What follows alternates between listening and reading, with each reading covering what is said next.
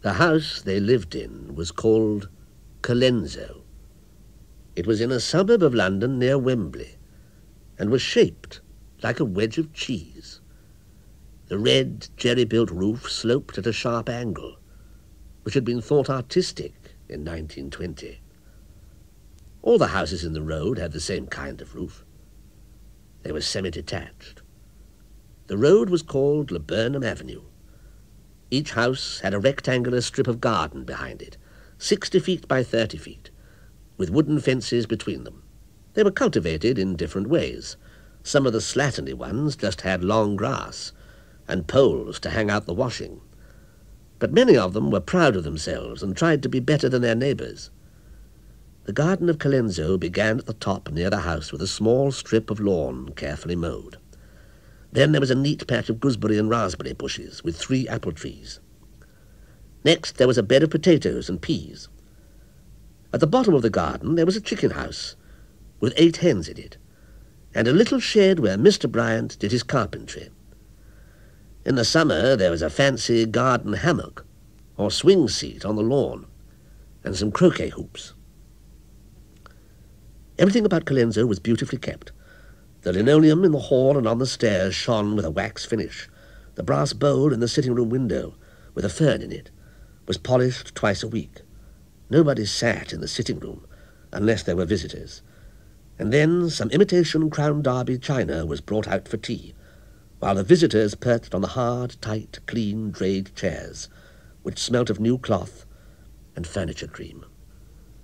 The kitchen, where the family life was really lived, was as shiny as the sitting-room.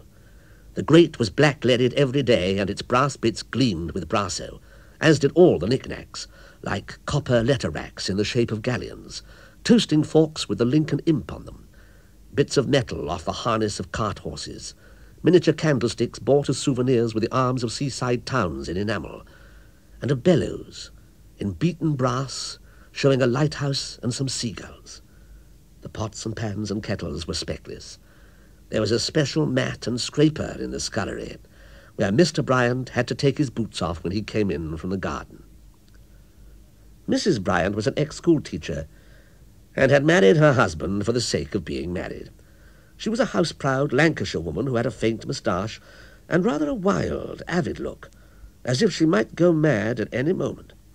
She was inclined to be the life and soul at Christmas parties, she jollied people along in a loud, funny voice, crying, Ee! and Bye! A sort of imitation Gracie Fields with the same kind of screech. And she ordered everybody to sit down or stand up or hide in cupboards or take a pencil and write down the names of twelve fish beginning with W. Under this veneer of camaraderie, she was as hard as nails. She allowed her husband to have a bottle of stout with his meals. It kept him out of the pubs. And she cooked for him superbly. But he had to sleep in a separate bed because of hygiene.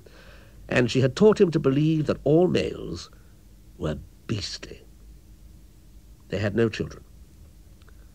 Mr. Bryant, she had married him rather late in life, when it turned out that there was nobody else available, was in one way a source of shame to her. He was a sewer man. For this very reason, he washed himself so thoroughly before he came home, he was cleaner than most other people in Laburnum Avenue, but she didn't let him forget that she had married beneath her and that she was a cultured person whose father had been a farmer, while her husband was low enough to work in drains. They were far from being unhappy together. Most marriages are desperate affairs sometimes, when the glamour has worn off. But these two did have a clean, comfortable, warm home, with excellent food, and a loyalty to each other which was based on economics. Mr. Bryant was a stocky man going bald, with thick, foxy hair on his forearms, and he wore an apron when he was doing the washing up. He had his own hobbies, which he conducted in the shed at the bottom of the garden. He had a project, or daydream, about adapting the shed so that he could keep racing pigeons in it. Also, he was a Freemason. When they listened to the radio, he often wished that they could have the boxing commentaries. But Mrs. Bryant preferred the readings from Dickens, or one of the diaries which go on and on in England as serials. The diary of a doctor's wife, or an everyday story of country folk. One evening, while they were listening to the radio, there was a talk on the third programme about imaginary children. It told about Charles Lamb, Kipling, and Sir James Barrie, who had all three written about childless people, and how their characters consoled themselves by daydreaming of the babies who had never existed, about the might-have-beens. It was Mrs. Bryant who suggested they might invent a baby for themselves. The idea did not appeal to her husband at first, but he didn't oppose it, and after a bit he caught on with surprising imagination for such a humdrum man. Perhaps he needed a son more than he knew. Their idea was to imagine a baby and to let it live on day by day, having the adventures which it would normally have had if it had been a real one, just like a baby on the radio serials. Both of them preferred a boy. Mrs. Bryant was a thorough woman, and she insisted on going through the whole procedure from the beginning. She only announced her pregnancy after three months, when she was quite sure, and she speculated about sex and names and provided herself with a layette, pink or blue, for the full time before she consented to present her husband with the expected heir. The delivery was a normal one, and the boy was born on the 25th of April. They christened him Arthur, after Mrs. Bryant's father, and Pendlebury, after a distant cousin who had risen to be a general. He was a healthy specimen, weighing nearly eight pounds, and Mr. Bryant was amazed by his mauve colour, his wrinkles, his bedraggled hair, and the perfection of his fingernails. When he remarked that the baby was mauve, Mrs. Bryant was furious. She said that all babies were this colour, which was not mauve, and for a whole evening there were strained relations in Laburnum Avenue. They were model parents, devoted to the little life which they had conceived between them, and from the start they were determined to make it a successful one. Mr. Bryant gave up having stout with his meals and actually put the money, which would have been spent on it, real money, into a teapot on the mantelpiece, afterwards investing it in savings certificates whenever the teapot was full. Mrs. Bryant proved to be a good mother, though a bit fussy and dainty, as was natural in a schoolteacher. Mr. Bryant often chided her for coddling the boy. She was a fanatical sterilizer and boiler of things.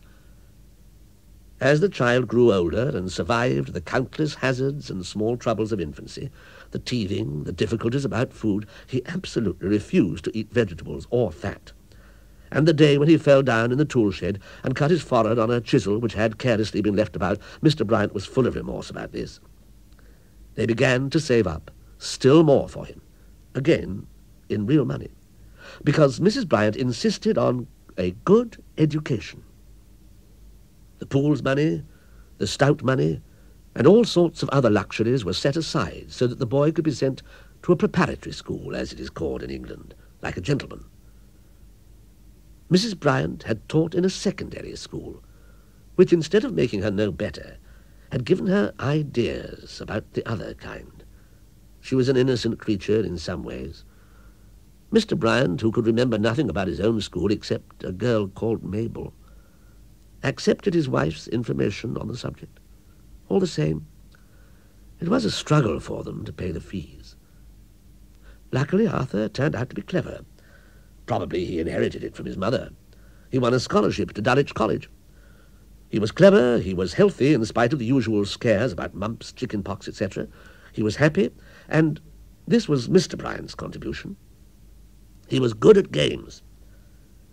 Mrs. Bryant would not agree to his being the captain of the cricket team, but he played in it. All through the summer months, his father kept a record of his scores, grieving when he was out for naught, and disputing the umpire's decision if he was given LBW. Mrs. Bryant didn't pay much attention to this, though she was pleased to hear of successes in a general way. They shared the usual disagreements of parents. Mrs. Bryant was against corporal punishment on principle, while Bryant was in favour of it. But he couldn't bring himself to do it, so there was no trouble about this. One thing did lead to friction. Mrs. Bryant didn't want Arthur to be interested in girls or to do anything that was wrong. Mr. Bryant absolutely refused to let him be a mollycoddle. He said that all boys were interested in girls like Mabel. Perhaps it was the girls who made the first rift in the lute. As Arthur began to grow up and to be less dependent on his parents, less in need of his mother's protection, Mrs. Bryant seemed to grow cooler towards him. It was not exactly that she was jealous of the girls. It was more as if she resented his being a male. She didn't like it that he should have a life apart from hers. She lost interest in him as he ceased to belong to her protectorate, and even began to disapprove of him, perhaps to fear him for being a man. Mr. Bryant seemed to love him all the more for being one. It was at this point that husband and wife stopped imagining in harmony. Being estranged from the masculine Arthur, Mrs. Bryant ceased to wish the best for him. The point was that she had it in her power not to give it to him. She explained to her husband, while they were washing up in the tight, hard kitchen, that daydreaming was wrong when it became a wish fulfillment. He didn't know what she meant by this word, but he felt defensive and beleaguered, and held the wet cup with a damp clutch in his blunt, russet fingers. She said that they were just imagining Arthur to be clever and successful and good at things because they wanted him to be so, but few real people were like that. Bryant was forced to agree that people did not usually turn out to be supermen. He was not one himself. From now on, he fought a long, losing battle on behalf of Arthur, who began to go from bad to worse. The boy did not get a good job. The best they could do for him was a clerkship in a bank. It was badly paid. The inevitable happened, and he stole some money to bet on the horses. Mrs. Bryant had been afraid of this. His broken-hearted parents were working in the oblong garden at Wembley when matters came to a head. There was the patch of neat grass, thirty feet by fifteen, which Mr. Bryant was mowing. There was the crazy path, with alyssum growing in it, the border of lupins, the clothesline, some potatoes and scarlet runners, and the small tool shed. The pigeon house had never been finished. Prison? cried Mr. Bryant. Oh, Arthur, he must not go to prison. God is not mocked, she said. What can he do? What can he do when he comes out? We shall have to move. But Arthur never meant no harm. He will find no work as an ex-convict. We shall have to support him forever. Mr. Bryant said, I will get him on the sewers. I can ask Mr. Brownlow. A sewer man, she said bitterly. And then, I suppose, he will marry a school teacher, like you did. Mr. Bryant went to the tool shed for his croquet mallet. He bashed her brains out with it. It only needed one thump. He had to do this in defense of Arthur. He could not afford to have two failures in the family.